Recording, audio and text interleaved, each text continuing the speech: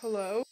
Alright, hi fairies. So, the story goes that about a month ago, when former President Trump's Twitter was taken down, Finally, somebody got her. the phrase 1984 was here is trending. And ever since then, I haven't been able to get that out of my head. The fact that a fictional story was trending. And on that day, that book kind of sparked this huge political debate about censorship and all these other themes. I thought to myself, why does everyone know exactly what 1984 is? And I kind of realized English class. I have the mind of a mastermind. For those of you that don't know, 1984 is a dystopian fiction novel that a lot of people in high school here in the US had to read. I'll tell you a little bit more about that in a second, but I kind of realized it's not only 1984, it's also Fahrenheit 451, Animal Farm, all these other dystopian fiction novels. It seems that here in the US, high school English is highly politicized, even though we do have classes dedicated towards US government and US history. And not only that, because in my experience, I'm class of 2018 by the way, a lot of discussions, writing prompts, essay prompts, a lot of that kind of stuff in high school English will be very heavily politically focused. Why is that exactly? Why is a class that's just supposed to teach you proper grammar, essay structure, all that, why is it so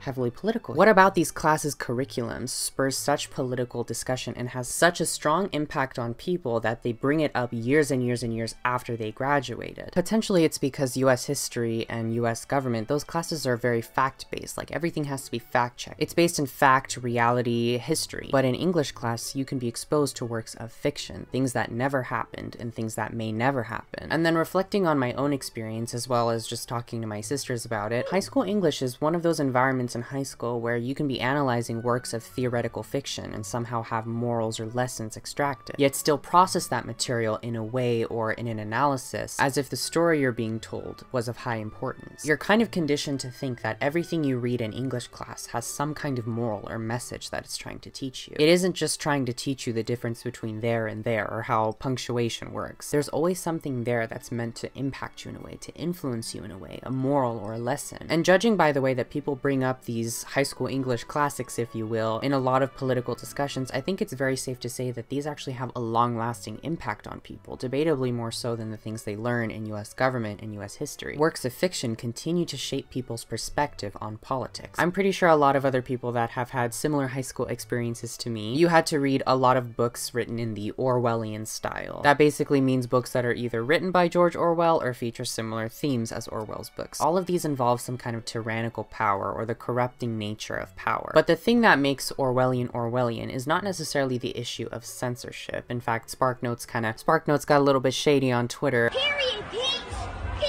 Over the assumption that Orwellian just means censorship, because yes, censorship is a huge part of the of the dystopias Orwell creates. However, this isn't a book report, this will come in handy later, trust me. The main concept in these Orwellian dystopias is the way language is altered and changed. Certain key words of language have their meaning distorted or perverted in a strange way. Like the ministry of love is actually the ministry of torture. The ministry of truth is actually the ministry of lies and propaganda. The ministry of peace is the ministry of war. Orwell's thing was not censorship, it was actually introversion of language. It was a description of theoretical ways that people in power can take advantage of people, uninformed people with short attention spans, and employ various tactics to completely break down their critical thinking. You can see this in the concept of doublethink. Basically, when a person knows something isn't true, or knows something isn't the correct meaning, but they accept it anyway. Similar in a way to the phrase alternative facts. Alternative facts. Alternative facts. alternative facts.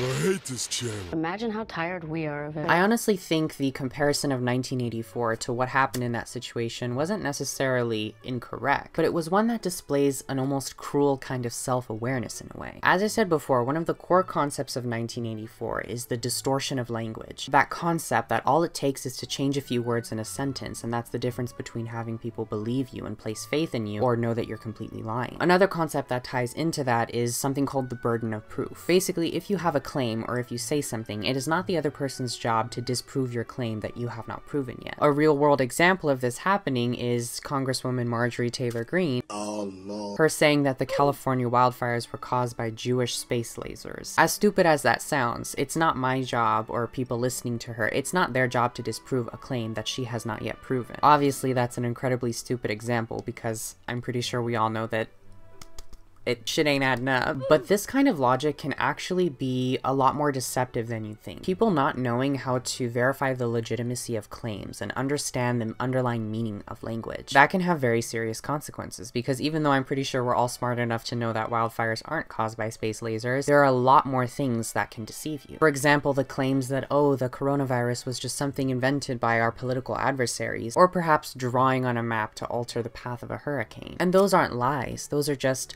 alternative facts. Do you see how dangerous that can be? Those things I said to you clearly knowing that they're lies, these unproven claims that have no legitimacy. By me replacing one word in my sentence, replacing lies with alternative facts, you have a situation where if someone did not have the attention span to check the validity of my statements, they may actually believe me. And that ties into another very important concept in Orwellian societies, and that is when the truth becomes something subjective. Through complacency, Big Brother has achieved a society that can be spoon-fed lies and be told it's the truth, and even though some people may still have the common sense to look at something and say that it doesn't make sense, that doesn't matter, because Big Brother is the only trusted source of information. And anytime a mistake is made on Big Brother's part, he'll blame it on his political adversaries or political outsiders, thus distancing himself from the blame, making him seem almost perfect, and he does that by a distortion of the very meaning of the word truth. And then you have the Orwellian concept, or at least the concept within 1984, of the two-minute hate. The political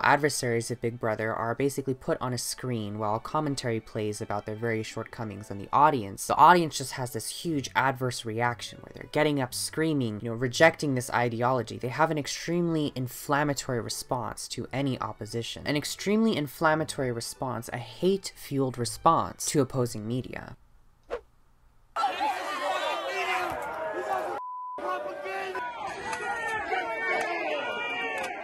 The comparison is definitely there. Now come on now. I don't want to say that they misunderstood 1984 by bringing it up. In fact, I want to say they understood the impact it's had on many people. They knew exactly what they were doing. They knew that so many people bear such a strong connection to that book because they were exposed to it at such a young age, debatably being brainwashed by this work of theoretical fiction that from a young age they had to look at and say, these are the morals, this is what I've learned from the book, this is this is what I'm taking away from this reading experience or whatever. And English teachers can actually get away with influencing people even further. They can get away with nudging students in a certain direction. Because like all of us, English teachers can have their own political biases, and these can impact the way they teach and what they focus on. Because the thing is, 1984 does not depict a society that is more to the left or the right. It is simply Big Brother. So if someone were to compare a political party to 1984 without actually backing up that claim and fully articulating the reason why they're doing that, that potentially exposes a bias on their part. When you read 1984, in high school, did your English teacher make it feel more like the Soviet Union or Nazi Germany? That's the big question. The way the American education system is set up gives a valuable opportunity to politically influence a lot of people. You have multiple books in the curriculum that spawn multiple different political discussions which can be influenced a certain way. It can be taken in any direction you want, and that direction can be influenced by political biases of English teachers. English teachers can have their own political opinions, that's perfectly fine, but I want to say it's not really an English teacher's fault if their student voluntarily black pills themselves when you tell them to read a George Orwell book. That's not really that's not really their fault. And there was actually an article I was reading where they interviewed students about the way specifically English class impacts their political beliefs, and I found a very interesting a very interesting passage that was written by a student. Insert the thing here, insert the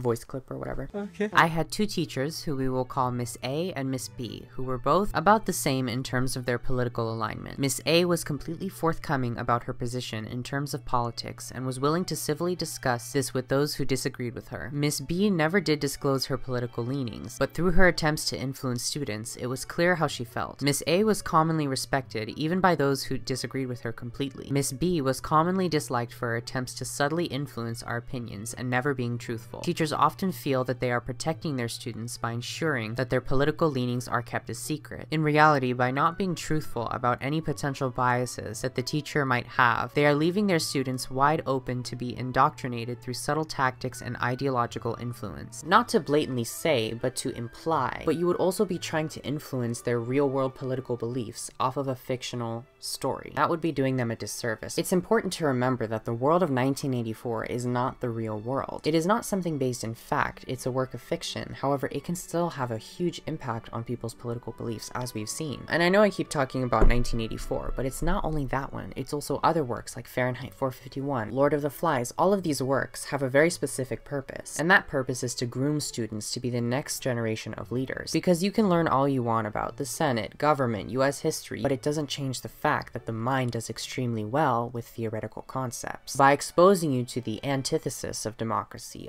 authoritarianism, if you will. Those stories are useful to remember not when debating policy or politics, but when debating concepts and conceptual issues. I don't feel as if they politically influence you by giving the answer, like other classes may do. They influence you by starting a discussion, a political discussion, and that discussion could be influenced by a moderator or teacher. It's actually quite interesting to think about how our public education system influences us in that way, right under a lot of people's noses. Interesting. And I can imagine that in certain communities, there can be larger amounts of people that bear a certain political bias and can dominate discussions, thus creating a situation where it would be highly likely to influence a neutral individual to one side. As they aren't really discussing politics or policy, but more so concepts, the core concepts that determine an individual's political identity. The way you discuss these novels can actually impact your political beliefs, not directly, but indirectly through discussions of morality, fear, power, discussions of all the like.